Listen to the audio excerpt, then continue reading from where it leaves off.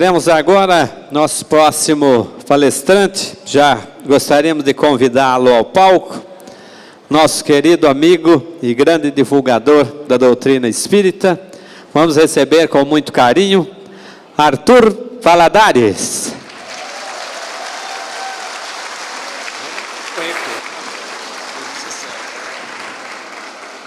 O Arthur Valadares é natural de Patrocínio, Minas Gerais, residindo atualmente em São Carlos, onde se vincula à Associação Espírita Obreiros do Bem. Expositor e articulista espírita, é um dos fundadores e coordenadores do Núcleo de Estudo e Pesquisa do Evangelho Paulo de Tarso, grupo dedicado ao estudo e à divulgação online gratuita do Evangelho e da doutrina espírita para falar sobre o tema O Espírito do Cristianismo. Arthur Valadares, obrigado já pela presença.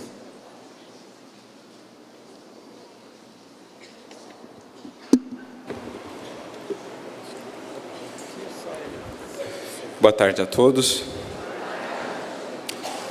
Que a paz do Divino Mestre e amigo de todos nós, Jesus, possa nos envolver a todos e que, alimentados e inspirados pelo seu amor, cada um de nós possa sair daqui mais disposto, mais fortalecido para cumprir lá fora o trabalho que o Evangelho nos conclama a fazer.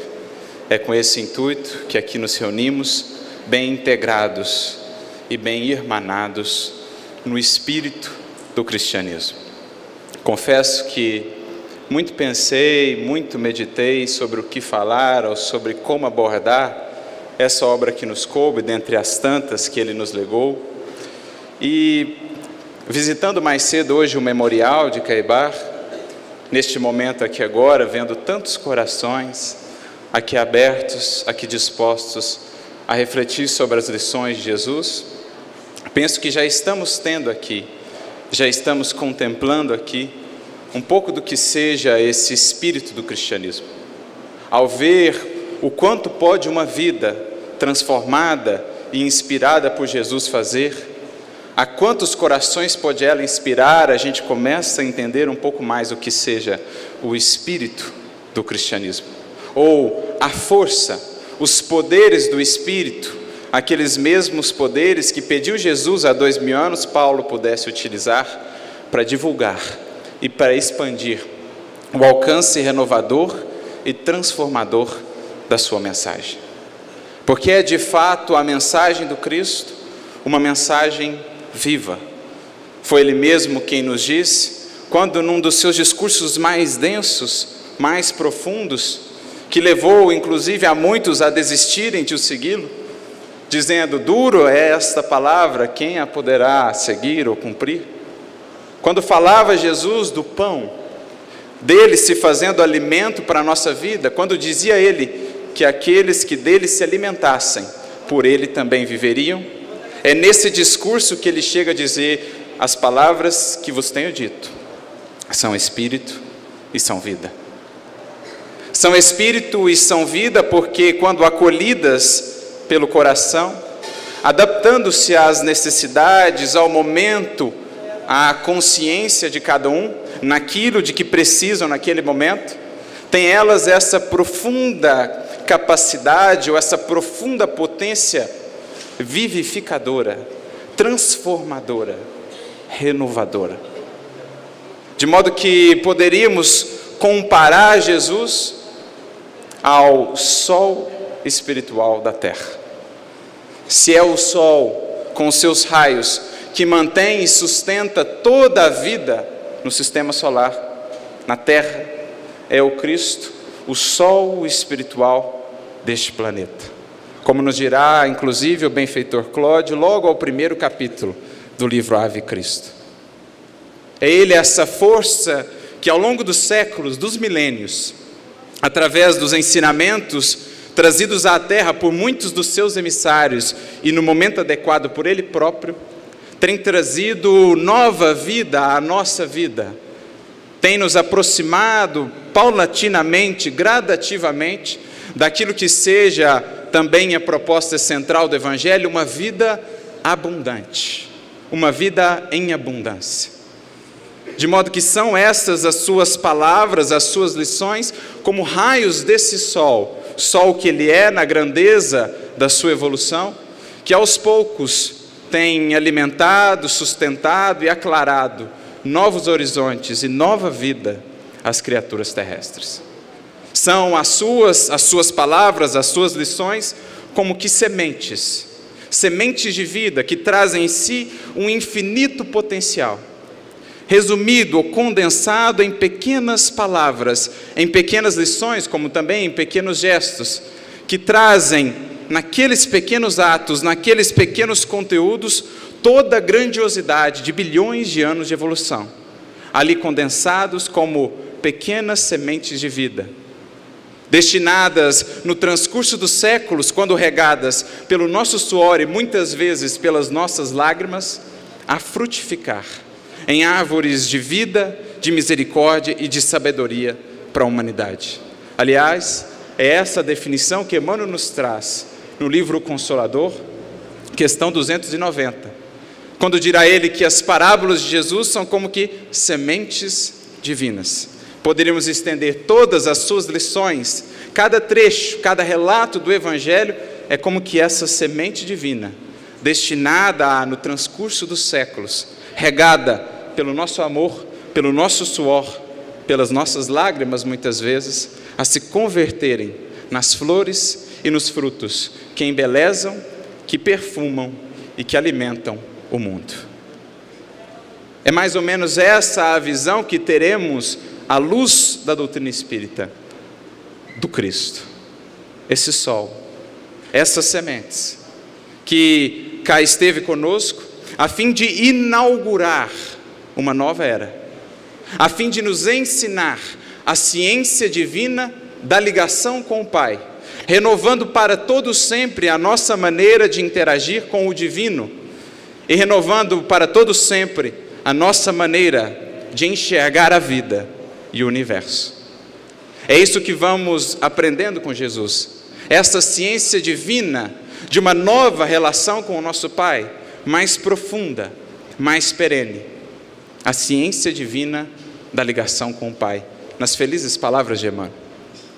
É isso que temos aprendido com ele, talvez por isso tenha dito o apóstolo Paulo que soube muito bem captar qual era a grandiosidade da tarefa do Cristo ou do que ele havia nos legado, talvez por isso tenha ele nos dito, na sua segunda carta aos Coríntios, capítulo 3, versículo 6, quando fala: Nós fomos chamados ao ministério de um novo testamento.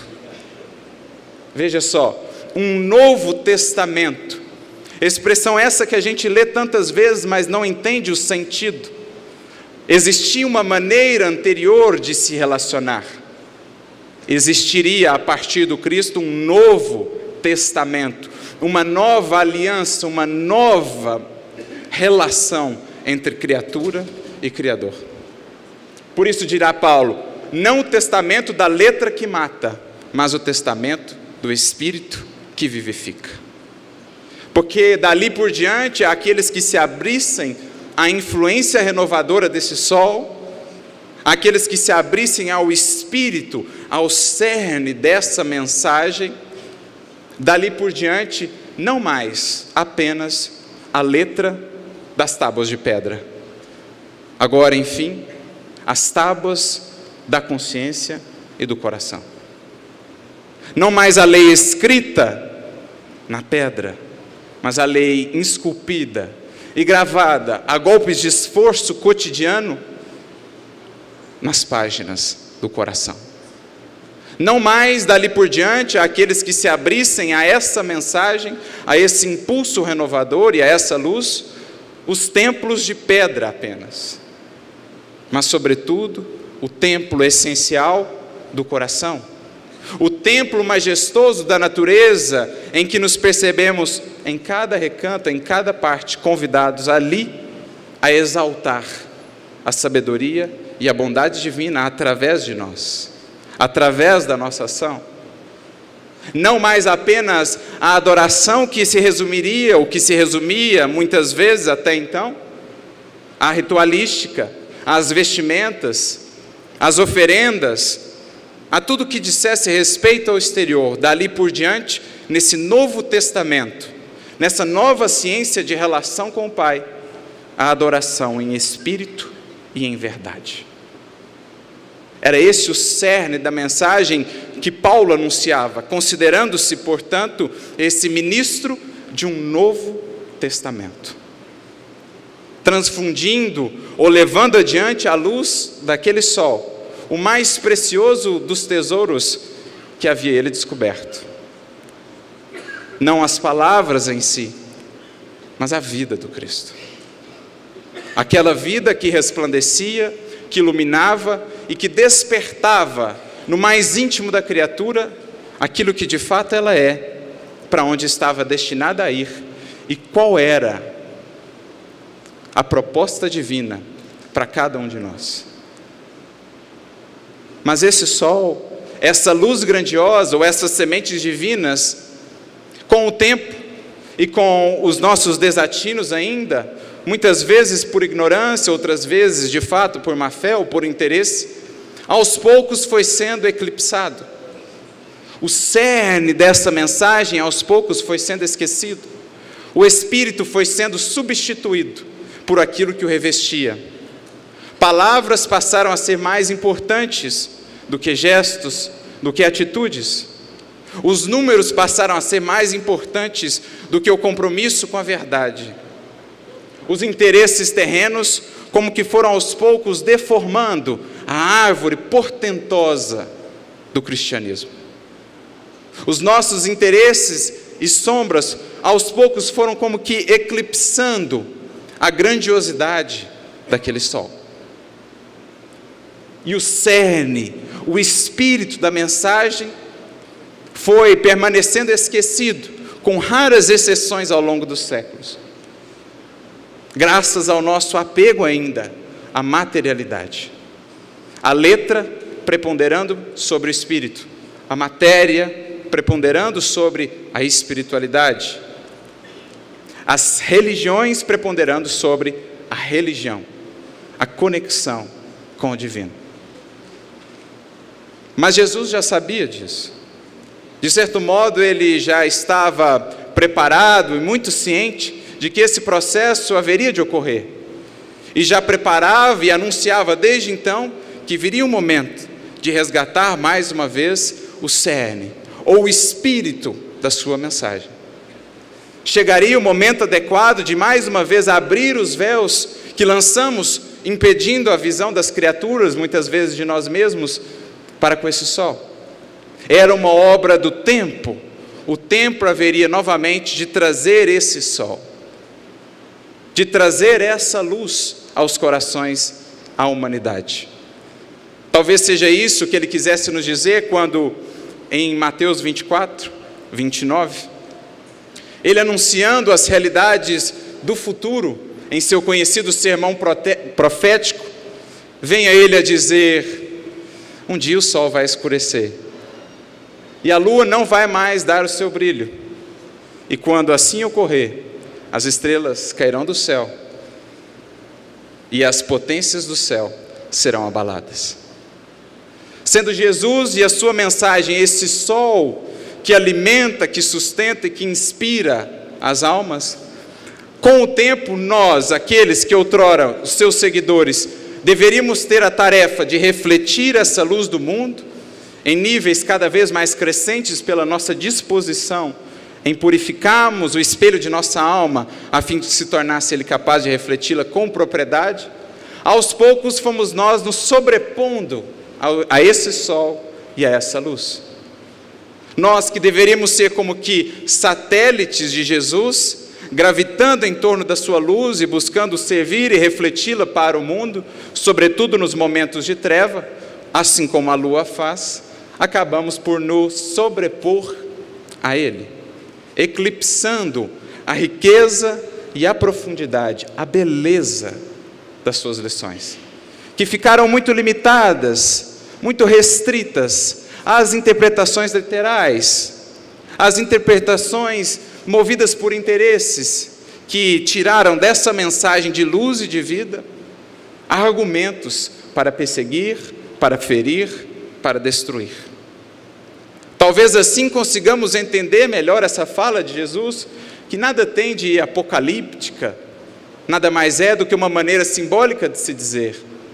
A lua, as instituições, os cristãos, aqueles que deveriam refletir a luz desse sol para o mundo, acabaram por se sobrepor a ele mesmo, julgando-se mais importantes que ele, ou detentores de um poder que não detinham, acabaram por eclipsar toda a beleza e a grandeza desse sol. Talvez por isso entendamos a fala de Jesus que nos foi trazida por Emmanuel, no livro Há Dois Mil Anos, na segunda parte, capítulo 6, quando Jesus recebe os mártires. Então vem ele a dizer: quando ocorrer o eclipse da evolução dos meus ensinamentos na terra, e a gente fica a pensar, conhecendo muito bem Emmanuel, e entendendo ou meditando cada vez mais sobre o Evangelho, a gente fica a pensar se a palavra eclipse ali estaria solta.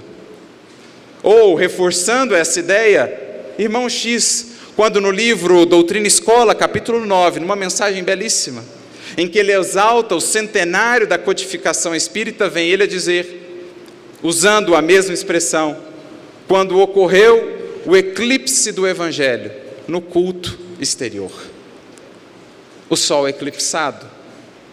A luz divina do Cristo tolhida, limitada, restrita pela nossa sombra. Quando assim ocorresse, disse Jesus, ele mesmo, juntamente com aqueles que têm como ministros, que governam, que amparam, que sustentam a evolução humana, haveria de inaugurar um novo tempo, promover uma nova ação a fim de abrir novamente as cortinas que haviam impedido a alma humana de acessar toda a plenitude ou a grandiosidade daquela luz. Por isso, ele acrescenta em Mateus 24, 29, as estrelas cairiam do céu e as potências do céu estariam abaladas.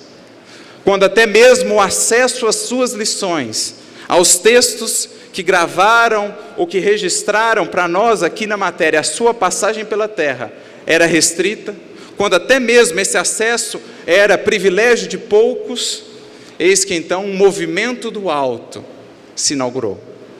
As potências do céu se abalaram e as estrelas caíram do céu. Era o movimento de resgate daquele sol, daquela luz. E por isso encontraremos logo no prefácio de O Evangelho segundo o Espiritismo, os Espíritos, que são as virtudes ou as potências do céu, no grego é a mesma palavra, qual imenso exército que, sob a ordem do seu Senhor, se movimenta, as potências do céu estão abaladas, vêm como estrelas cadentes, estrelas que caem, aclarar os caminhos e abrir os olhos aos cegos. Abrir os olhos aos cegos. Talvez alguém poderá pensar, mas aí é forçar. E aí a gente vai à Revista Espírita, então, fevereiro de 1868. E aqui os espíritos são mais diretos. O título da mensagem, de um espírito muito ativo na codificação, conhecido por nós no Evangelho segundo o Espiritismo por Adolfo, bispo de Argel, também chamado de Dupur. O título da sua mensagem simplesmente é: As estrelas cairão do céu. Em que ele irá dizer outra, não outra coisa senão que Aquelas estrelas, figuradamente, representavam todo aquele movimento da espiritualidade. Os espíritos superiores, que quais estrelas desciam à terra, em todas as partes, a fim de inaugurar a época da revivescência do cristianismo, do resgate daquele espírito do cristianismo há muito esquecido. Os valores centrais, a simplicidade, os valores universais do qual Jesus era portador, não só no verbo, mas sobretudo na vida. É esse um dos, dos trabalhos ou uma das funções primordiais do Consolador, como outrora ele havia avisado. Trazer novamente o mundo à sua mensagem esquecida, disse ele: o Consolador vos relembrará do que vos falei a sua mensagem, muitas vezes não entendida, pela própria ignorância nossa do passado, o Consolador desenvolverá tudo o que lhes falei. Esse é um dos trabalhos centrais da codificação. Trazer novamente esse espírito, esse elemento norteador que será aquele código moral ou código divino da humanidade do porvir. Como irá falar o próprio Kardec no livro A Gênese, ao comentar esse versículo que citava, o sermão profético de Jesus. O reinado do bem que haverá primeiro de passar pelas lutas, pelas dificuldades, pelo resgate do evangelho em sua pureza primitiva, em outras palavras, o espírito do cristianismo, que será o elemento ou o código norteador do futuro da humanidade. E aí a gente entende melhor todo o cuidado e todo o zelo dos espíritos com relação a Kardec, sobretudo quando do advento de o Evangelho segundo o Espiritismo. Uma obra, digamos assim, especial, que demandou de Kardec um insulamento. Kardec fez um retiro, primeiramente em San Andrés, depois em Seguir, isso está lá registrado em obras póstumas, a pedido dos próprios espíritos que lhes diziam: para essa obra, nós precisaremos tê-lo inteiramente para nós. É de tal profundidade o trabalho que aqui faremos, de tal importância o resgate que se fará, portanto gerará muitas resistências, desde já se prepare, e os espíritos o avisam sobre isso. Até agora o caminho foi fácil, e olha que Kardec já tinha ali um bom tempo de caminhada na seara. Daqui por diante o caminho vai se tornar realmente difícil. Os espíritos pedem que ele esteja mais próximo deles, mais submetido ao carinho, ao cuidado, à inspiração deles. Há inclusive uma passagem muito bonita que está na Revista Espírita de novembro de 1904 e que mais recentemente foi anexada como apêndice da edição da Federação Espírita Brasileira de Obras Póstumas, um caso de segunda vista. Quando Kardec, já após ter voltado do seu retiro em San Andrés, indo para Ségur, recebe em Paris a visita de uma médium de Lyon, que não o encontra, ele estava em Ségur, mas encontra Amélie, que afirma e diz que ele lá está, a pessoa fica muito triste, a Meli também, porque Kardec certamente gostaria de vê-la, de conversar com ela, mas sabendo que ela era uma médium sonambúlica, diz ela então: por que, que você não vai até lá vê-lo? Elas então se reúnem, a médium se desdobra, vai até onde Kardec estava e descreve com perfeição o lugar, sem nunca ter estado lá. Então a Meli pergunta: O que vês? Eu vejo que ele está bem, muito bem aparado, há vários espíritos zelando pela sua boa saúde. Muitos espíritos superiores, mas parece ter um que é superior a todos e ao qual todos prestam deferência. Esse atua de modo muito particular sobre ele. Então ela pergunta: no que o meu marido trabalha? Qual a natureza do seu trabalho? E então ela diz: Eis que eu vejo um espírito que segura um livro. Ele me abre o livro, eis que então eu vejo escrito em grandes letras, bonitas letras, Evangelho. Era enfim o resgate, era enfim o retorno. Daí todo o cuidado, o zelo. Kardec, como Espiritismo, com todas as ferramentas que agora trazia, incorporando no seu bojo todas as conquistas da ciência humana até ali, como trazendo também todas as revelações da ciência espírita, estava mais munido agora para acessar novamente a riqueza dos textos das Escrituras, dos Evangelhos, enxergando-os com novas lentes, porque eram essencialmente três, poderíamos dizer, duas, as, as janelas cerradas que nos impediam de ver aquele sol. Uma era a ignorância, a ignorância da ciência do mundo, do conhecimento melhor do universo, das leis naturais, a ciência também do conhecimento das leis morais. A ignorância desse conhecimento dessa ciência divina, leis naturais, leis morais, era um dos elementos que nos impedia de ver em toda a profundidade a luz naqueles textos. Mas existia um outro tipo de cegueira, também fundamental, e a qual o Espiritismo vai trabalhar de frente a cegueira do egoísmo, do orgulho da vaidade que nos impedia de acessar em profundidade a mensagem de Jesus. Então, munido dessas novas lentes, Kardec vai se propor a adentrar mais uma vez as Escrituras.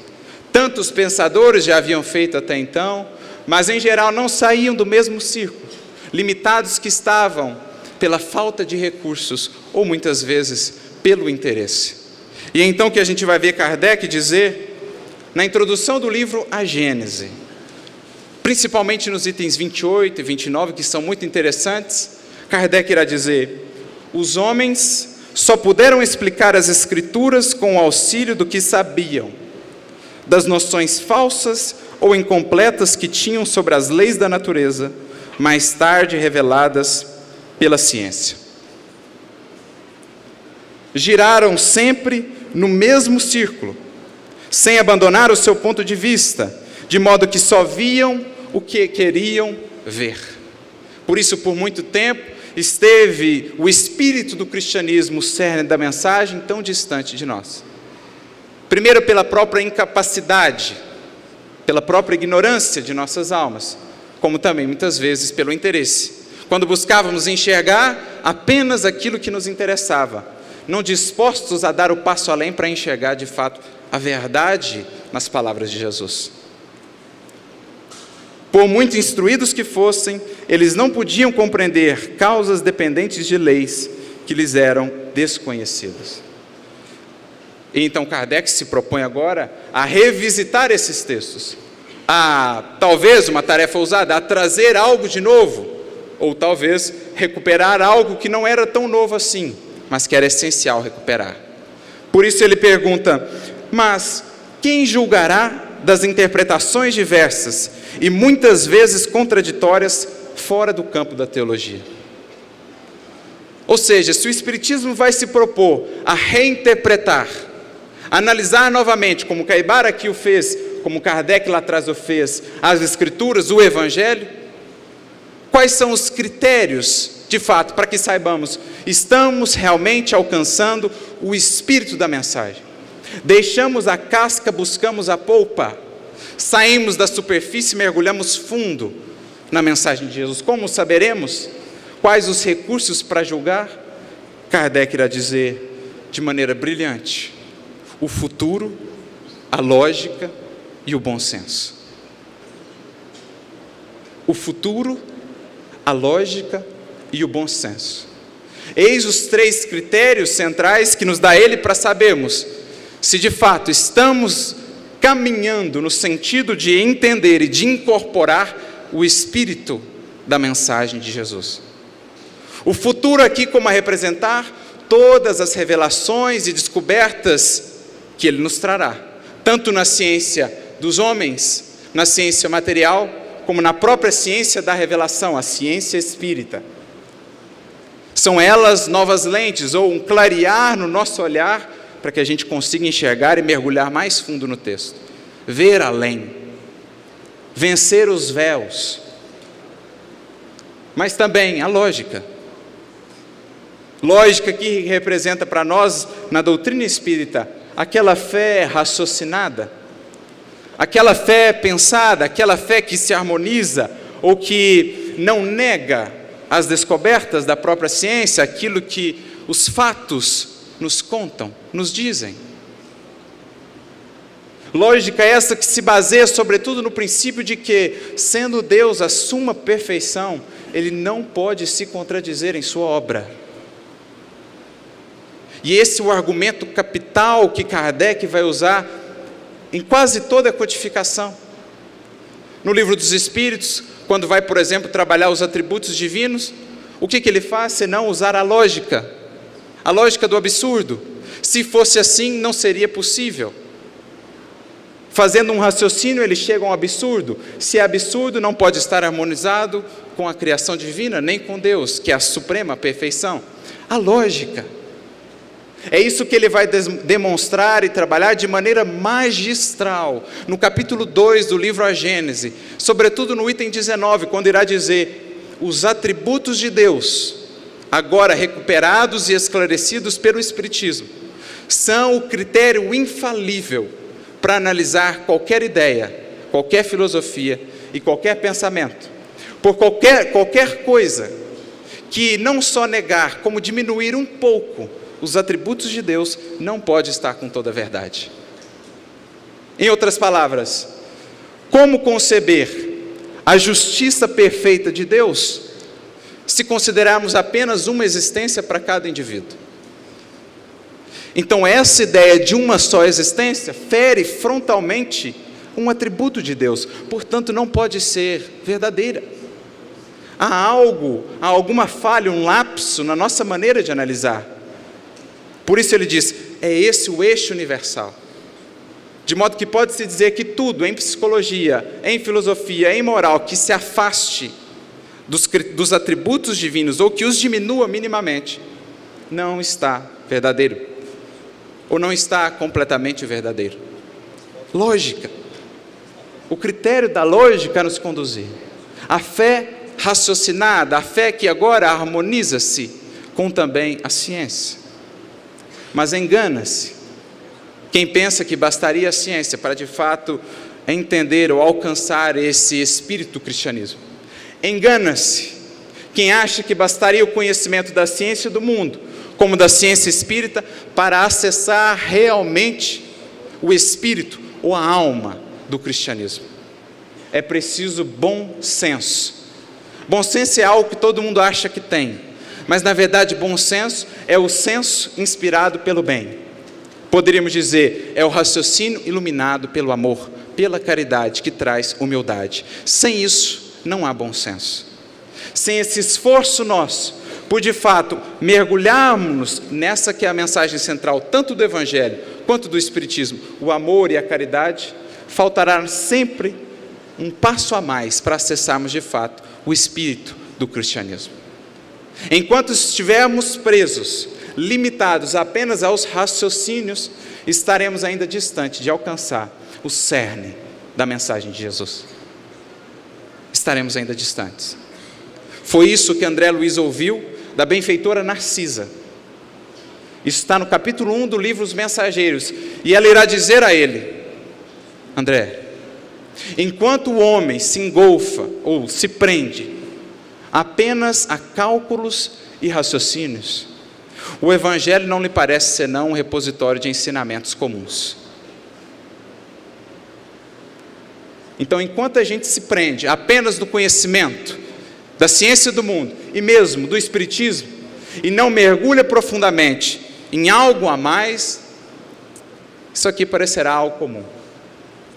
Então ela acrescenta: mas quando se lhe despertam os sentimentos superiores,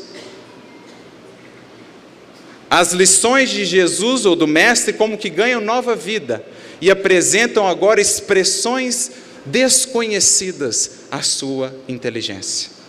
Olha que lindo isso. Eu só consigo captar o espírito do cristianismo quando eu mergulho no espírito do Cristo. E o mergulho no espírito do Cristo é um mergulho na caridade, no seu mais amplo sentido. É o esforço nosso por viver esse que é o cerne da sua mensagem. Só assim a gente consegue realmente alargar a nossa consciência a fim de captar a inspiração do Cristo, porque agora não é o texto que conversa comigo, é o próprio Jesus através do texto. Por quê? Porque agora me conectei ao Espírito dele. Por meio desse esforço, me conectei ao Espírito dele. Venci a cegueira do conhecimento ou da ignorância, mas venci também a cegueira do orgulho da vaidade, abrir as vias do meu entendimento espiritual. É isso que Emmanuel irá dizer no livro Harmonização, capítulo 7. Entendimento espiritual. Quando há golpes de esforço e de vontade, deixamos a superficialidade da mensagem de Jesus. Deixamos de dialogar só com os textos, que muitas vezes geram controvérsias, intrigas, disputas. Vamos mais além nos conectamos com o seu próprio espírito e então sentimos a sua mensagem. Nesse esforço nosso por acompanhá-lo, por vivê-lo, eis que o nosso horizonte se abre, enfim, captamos o espírito do cristianismo. Por isso Narcisa conclui assim: quando crescemos para o Senhor, os seus ensinamentos crescem também para nós. Olha que lindo isso. Quanto mais mergulho nessa vivência do cristianismo, quanto mais incorporo em mim essa alma do sentimento e da caridade, mais eu acesso de fato o que é a mensagem de Jesus. Talvez por isso Caibar tenha alcançado tanto em termos de interpretação, talvez por isso Kardec tenha aprofundado-se tanto em termos de interpretação. Porque, para além das obras que aqui escreveram, escreveram também outros livros, o próprio livro da vida, agora convertida no Evangelho de Jesus. Por isso alcançaram o espírito do cristianismo. Por isso, talvez, definirá Kardec que, na Revista Espírita de dezembro de 68, que a caridade é a alma do Espiritismo, como era também do cristianismo. E poderíamos dizer, acrescenta Kardec, que não há verdadeiro espírita sem caridade, sem sentimento. Como ele também define no livro dos médiuns, na primeira parte, capítulo 3, quando põe espíritas fenomênicos, os presos ainda aos fenômenos, espíritas imperfeitos, espíritas verdadeiros ou cristãos. Os que já incorporaram essa mensagem, os que já se esforçaram por vivê-la e nesse processo conseguiram entender e aprofundar a sua relação com Jesus. Mergulharam-se nesse esforço e Jesus veio ampará-los, veio secundá-los, clareando-lhes novos horizontes. Talvez por isso gosto sempre de citar ou de lembrar da passagem que está narrada no Evangelho de Lucas, capítulo 24, que eu acho descreve bem isso que Narcisa aqui nos trouxe. Quando os discípulos estão caminhando em direção a Emaús, aproxima-se Jesus e põe-se a caminhar com eles. E conta-nos o texto então que, na medida em que caminhavam, o Mestre lhes abria as Escrituras, como nos dizer que para acessarmos realmente profundamente o que está para além do texto do Evangelho, é preciso caminhar com Jesus. Só abrem as Escrituras, só alcançam o espírito da letra aqueles que se propõem a caminhar com Jesus, aqueles que se mergulham na luz do trabalho e do serviço, de modo que a luz de Jesus lhe venha em resposta ou como prêmio aclarar os horizontes, ampliar os entendimentos. É isso que o Espiritismo vai fazendo conosco. É agora Jesus quem dialoga conosco, no mais íntimo do coração. Os textos são mero caminho, são mero ponto de conexão, porque agora é o Mestre que fala diretamente, no íntimo do coração, os horizontes a trilhar.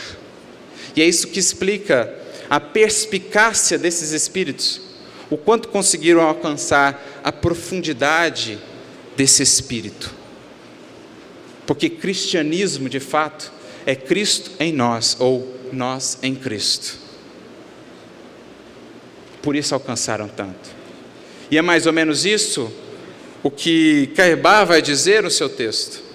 Já na conclusão da obra, de maneira muito bonita, ele vai dizer: estudando-se a mensagem do Cristo, em seu conjunto admirável, vê-se a sua ação vivificadora, primeiro aquecendo, para depois iluminar, vitalizando, despertando e curando, para fazer crescer e viver, florescer e frutificar.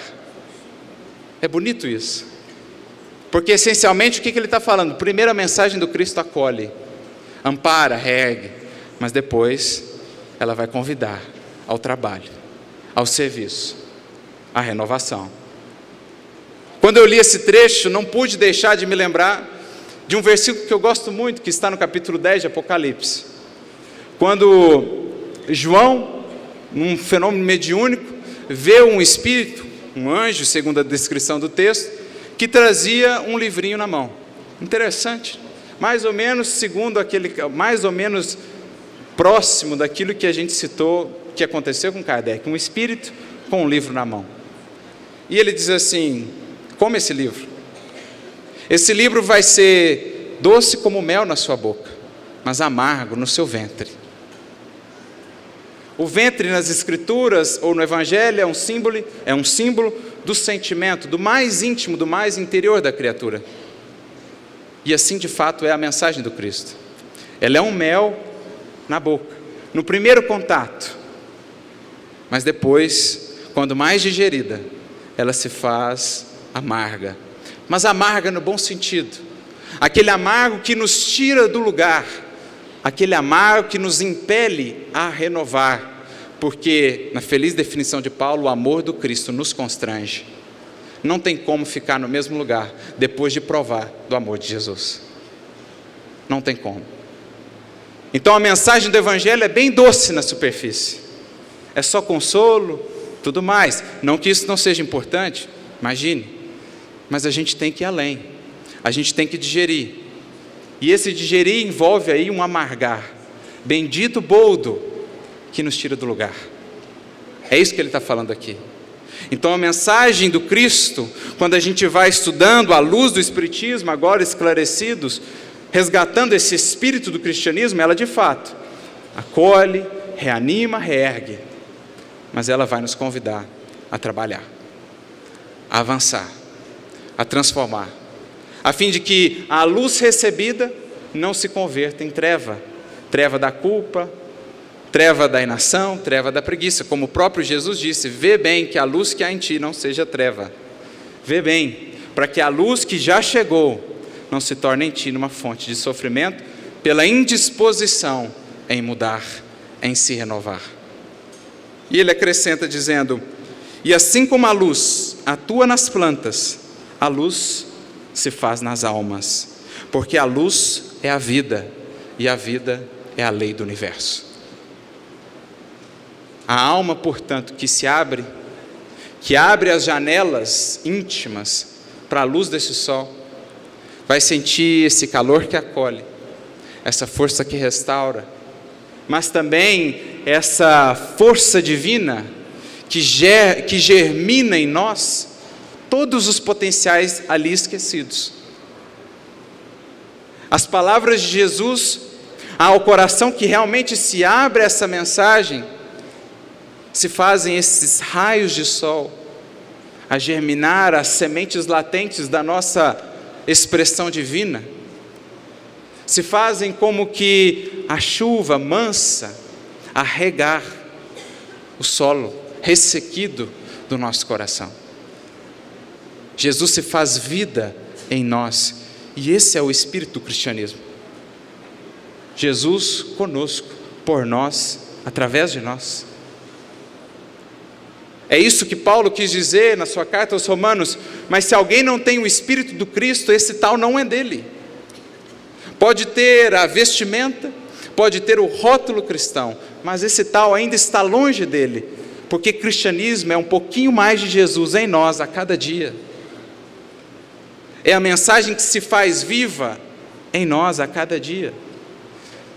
Porque mais preocupado do, do que com os textos estava Jesus preocupado com as cartas que ele haveria de legar para a humanidade? Nós. São essas que por muito tempo estiveram esquecidas. Investimos nas cartas externas, nas cartas escritas, em todas as formas de divulgação, mas essas são altamente necessárias e profundamente esquecidas. Mas são essas que transformam vidas. São essas que transformam comunidade, comunidades inteiras. E um exemplo está aqui, de uma dessas cartas, que está aqui a influenciar, a inspirar a vida de tantos. É o que Emmanuel vai dizer na questão, no capítulo 114 do livro Caminho, Verdade e Vida, quando fala das cartas do Cristo, virá ele dizer: Sabia Jesus que recursos humanos eram muito pobres para albergar ou transportar a sua mensagem. Muito pobres.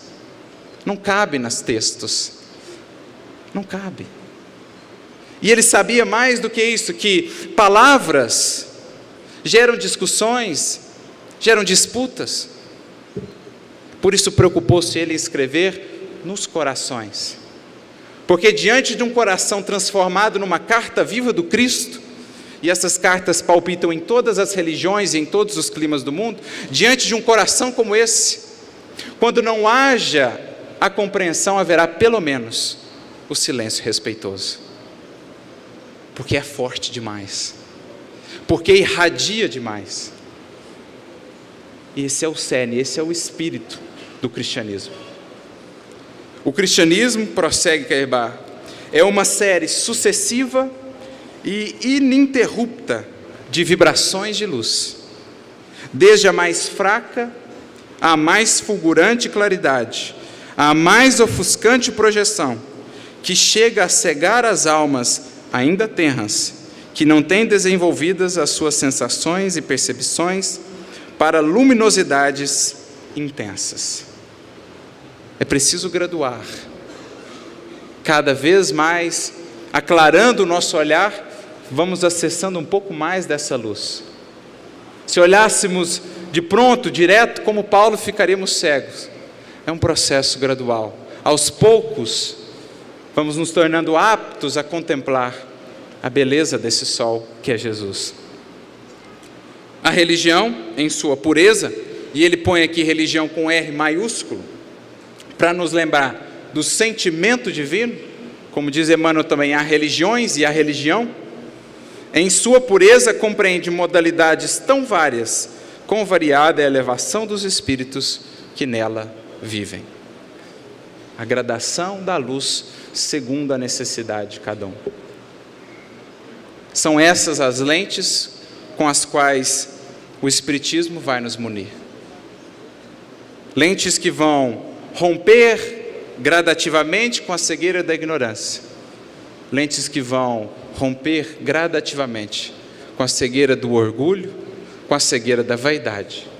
E poderemos então, enfim, acessar mais uma vez a luz desse divino sol, luz que nos tem sustentado por milênios, luz que haverá de nos sustentar por milênios e milênios ainda, porque a jornada, o caminho do Evangelho é um longo trafegar pelos reinos do Espírito. Felizes aqueles que, com Kardec, como Caibar, buscarem realmente acessar o Espírito do cristianismo. Nós em Cristo, Cristo em nós, agindo para um novo mundo. É isso que nós buscamos, é isso que o Espiritismo traz hoje para o mundo na feliz definição de Emmanuel no prefácio da Vinha de Luz, do livro Vinha de Luz. O Evangelho é o sol da imortalidade, que o Espiritismo reflete com sabedoria para a atualidade do mundo. Que esse reflexo seja não só pelas obras, que de fato nos iluminam e nos orientam, mas que ele seja, acima de tudo, pela vida, como Caibar fez por nós. Que Deus abençoe a todos, muita luz e muita paz.